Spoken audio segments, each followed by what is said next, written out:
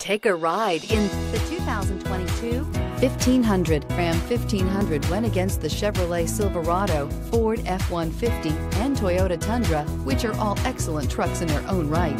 The Ram took home the prize for its well-rounded strengths. This vehicle has less than 100 miles. Here are some of this vehicle's great options. Electronic stability control, alloy wheels, brake assist, traction control, rear step bumper, remote keyless entry, fog lights, speed control, four-wheel disc brakes, front license plate bracket. This beauty will make even your house keys jealous. Drive it today.